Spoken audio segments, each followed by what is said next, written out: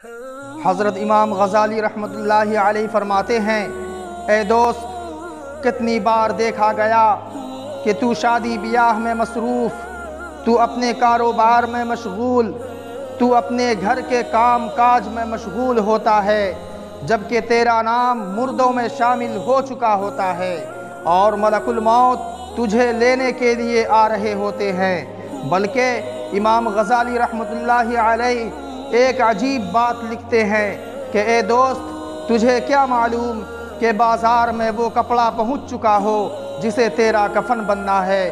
तू खुशियाँ मनाने में लगा हुआ है, जबकि तेरा कफन तो बाज़ार की दुकान में पहुँच चुका है, जो अनकरीब तुझे पहनाया जाएगा। मेरे दोस्तों, हम मौत को भूल जाते हैं। मौत हमें नहीं भूलती।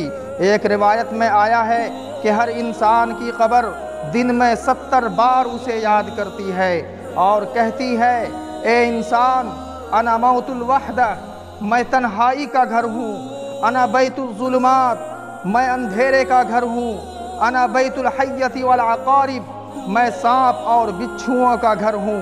यहाँ तो किसी अच्छे नगर में कोठी बना ली, बड़ी बड़ी बिल्डिंगें बना ली। ज़रा इस खामोश कॉलोनी को भी याद कर ले। वहाँ जाकर तू फंसेगा कोई तेरा हमसाया तुझसे गुफ्तगु नहीं करेगा। वहाँ तो सिर्फ़ तेरी कब्र होगी और फरिश्ते होंगे। वहाँ तुझे अपना हिसाब खुद देना होगा।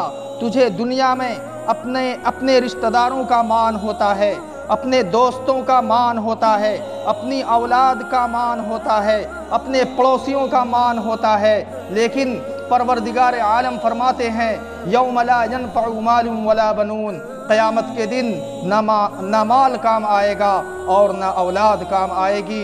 इल्ला मन अतल्लाह बिक़ल्बिन सलीम। वहाँ तो सवरा हुआ दिल काम आएगा। वहाँ तो नेक आमाल काम आएँगे। वहाँ तो साफ़ सुथरा दिल काम आएगा।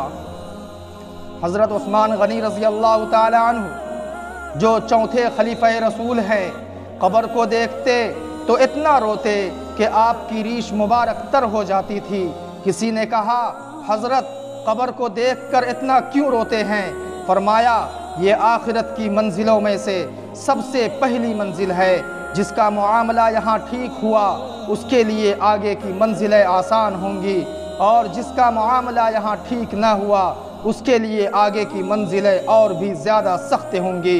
इसलिए मेरे प्यारे दोस्तों, दुआ कीजिए कि अल्लाह तबारक व हम सबको कब्र की मंजिलों में कामयाबी आता फरमाए और कब्र के आज़ाब से बचाए।